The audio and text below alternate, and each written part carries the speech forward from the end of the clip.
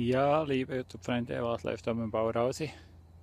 Vielleicht seht ihr es im Hintergrund, da ist Kompost geliefert worden und jetzt kommt gerade ein neuer Zetter voll Kompost, ein neuer Fahrer und ich muss ihm zeigen, wo das Feld ist.